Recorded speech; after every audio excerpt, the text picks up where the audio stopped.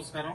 ఈరోజు తొమ్మిదో రోజు మన పవన్ కళ్యాణ్ గారు నివాసం వద్ద ఉన్న వినాయకుడిని నిమజ్జనం చేయడం జరుగుతుంది. అదేవిధంగా లడ్డూని ఇక్కడ పెట్టడం జరిగింది.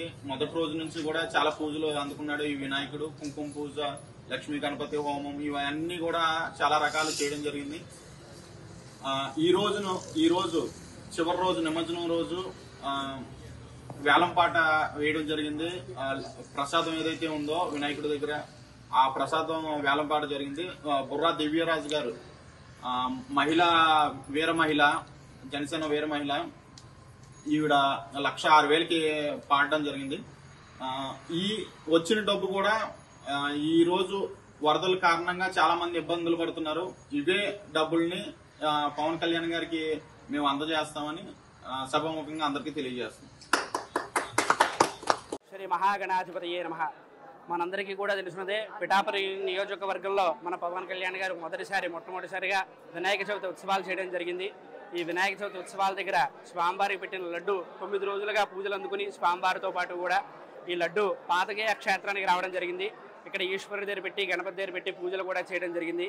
ఈ యొక్క ప్రసాదాన్ని పిఠాపురంలో ఉన్న మూడు మండలాలు యాభై నాలుగు గ్రామాలన్నింటికి కూడా ఈ ప్రసాదం అందజేసి స్వామివారి అనుగ్రహం పవన్ కళ్యాణ్ గారితో పాటు భక్తులందరూ కూడా కోరుకోవాలి.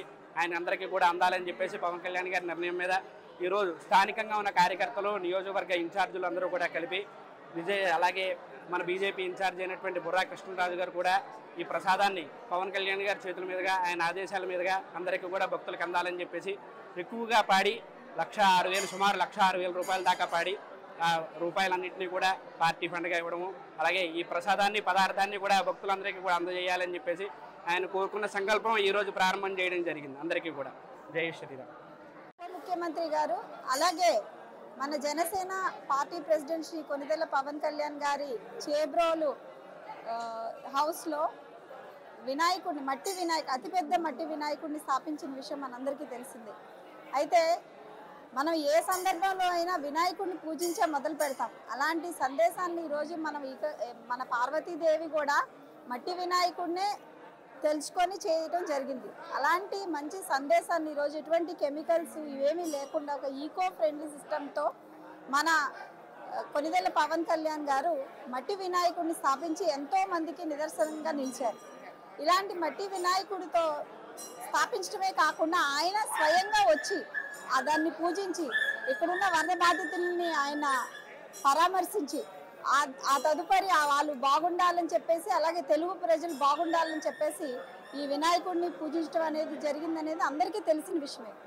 సో ఈ యొక్క వినాయకుడి దగ్గర ఉన్న లడ్డుని నిన్న మేము చేబ్రోలు ఇంటి నివాసం దగ్గర వేలం పాట వేయడం జరిగింది. దానికి లక్ష ఆరు వేలతో మేము వేలం పాట వేసి ఇది గెలవడం మేము చాలా అదృష్టంగా భావిస్తున్నాం.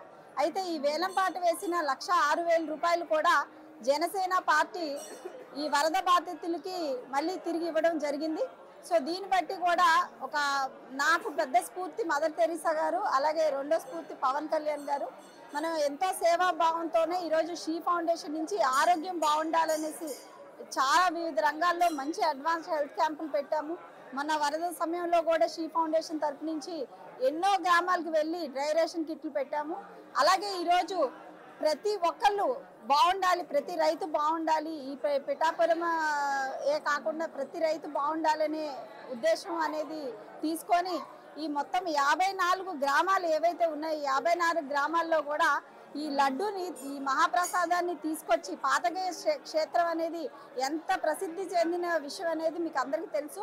సో ఇలాంటి క్షేత్రానికి తీసుకొచ్చి అరక ఈ సోమలింగేశ్వర స్వామి అంటే గణపతికి దేవుడైన సోమలింగేశ్వర స్వామి దగ్గర ఇదంతా పూజించి దీన్ని మళ్ళీ ఇంకా ఒక వ- సుమారు వంద కేజీల లడ్డులో కలిపి యాభై నాలుగు గ్రామాలకి పవన్ కళ్యాణ్ గారి తరపు నుంచి మనము ఈరోజు ప్రసాదాన్ని అందరికీ పంపించడం జరుగుతుంది. ఎందుకంటే ఈ ప్రసాదం ఏదైతే వేలంపాట్లో గెలుస్తారో చాలా మంది రైతులు వాళ్ళ పొలాల్లో అన్నిటిలో కూడా కలుపుకున్నట్టు అనేది అందరూ అదృష్టంగా భావిస్తారు. సో ప్రతి ఒక్కరికి అందాలనే ఉద్దేశంతో ఈ యొక్క మహాప్రసాదాన్ని యాభై నాలుగు గ్రామాలు పవన్ కళ్యాణ్ గారి తరపు నుంచి మేము పంపించడం జరుగుతుంది.